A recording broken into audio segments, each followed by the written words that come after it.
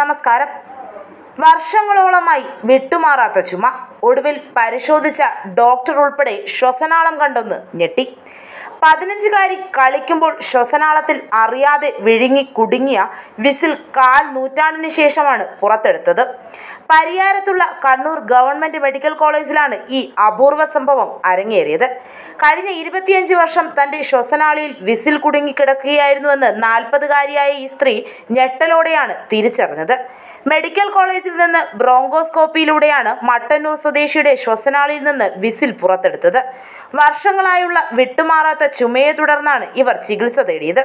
തളിപ്പറമ്പിലെ pulmonologist doctor ജാഫറിന്റെ ക്ലിനിക്കിലെത്തിയ നാൽപ്പതുകാരിയെ കണ്ണൂർ ഗവൺമെന്റ് മെഡിക്കൽ കോളേജിലേക്ക് റെഫർ ചെയ്യുകയായിരുന്നു. യുവതിയെ പൾമണോളജി വിഭാഗത്തിൽ സി ടി സ്കാൻ പരിശോധനയ്ക്ക് വിധേയമാക്കി. അപ്പോഴാണ് ശ്വസനാളിയിൽ എന്തോ കുടുങ്ങിക്കിടക്കുന്നുണ്ടോ എന്ന സംശയം തോന്നിയത്. ഉടനെ ഡോക്ടർ രാജീവ് റാമിന്റെ നേതൃത്വത്തിലുള്ള വിദഗ്ധ ഡോക്ടർമാരും നഴ്സുമാരും അടങ്ങിയ സംഘം പരിശോധനകൾ ആരംഭിച്ചു. ശ്വസനാളത്തിൽ ട്യൂബ് കടത്തിയുള്ള ബ്രോങ്കോസ്കോപ്പിക്ക് ഇവരെ വിധേയയാക്കി. പുറത്തെടുത്തത് ചെറിയൊരു വിസിലായിരുന്നു. ക്യാമറ ഘടിപ്പിച്ച ട്യൂബ് വഴി ശ്വാസകോശത്തിന്റെ ഉൾഭാഗം നിരീക്ഷിക്കലാണ് ബ്രോങ്കോസ്കോപ്പി കൊണ്ട് ഉദ്ദേശിക്കുന്നത്. ഇത് വളരെ അപൂർവമായി മാത്രം വേണ്ടിവരുന്ന ഒന്നാണ്.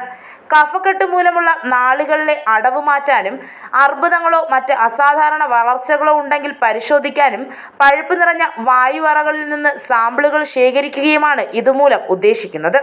വിസിൽ എങ്ങനെ കുടുങ്ങിയെന്ന് ആലോചിച്ചപ്പോഴാണ് നാൽപ്പതുകാരിക്ക് പതിനഞ്ചാം വയസ്സിൽ നടന്ന സംഭവം ഓർമ്മ വന്നത്. കളിക്കുന്നതിനിടയിൽ അറിയാതെ വിഴുങ്ങിപ്പോയതായിരുന്നു വിസിൽ.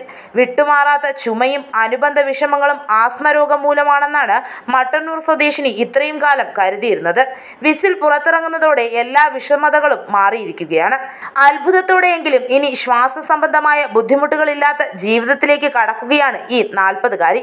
പൾമണോളജി വിഭാഗത്തിന്റെ നേട്ടത്തിനിടയാക്കിയ വിദഗ്ധ ഡോക്ടർമാരെ medical college principal doctor K M കുര്യാക്കോസും ആശുപത്രി സൂപ്രണ്ട് ഡോക്ടർ കെ സുദീപും സംഭവത്തിൽ അഭിനന്ദനം രേഖപ്പെടുത്തി.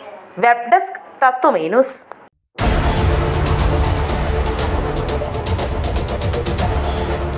മലയാളത്തിലെ ആദ്യത്തെ ഓൺലൈൻ സംവാദവേദിയായിരുന്ന ഹോട്ട്ലൈൻ.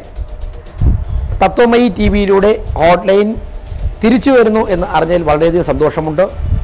ഒരുപക്ഷെ ഇന്ന് കാണുന്ന മാധ്യമ ചർച്ചകളൊക്കെ രൂപം കൊള്ളുന്നതിന് മുൻപ് വളരെ സജീവമായി രാഷ്ട്രീയ രാഷ്ട്രീയേതര വിഷയങ്ങളിൽ സമൂഹത്തിന് വളരെ അത്യാവശ്യമുള്ള ജനങ്ങൾക്ക് കേൾക്കാൻ താല്പര്യമുള്ള വിഷയങ്ങളിൽ വളരെ വിജയകരമായി നടന്നു വന്നിരുന്ന ഒരു സംവാദവേദിയാണ് ഹോട്ട്ലൈൻ.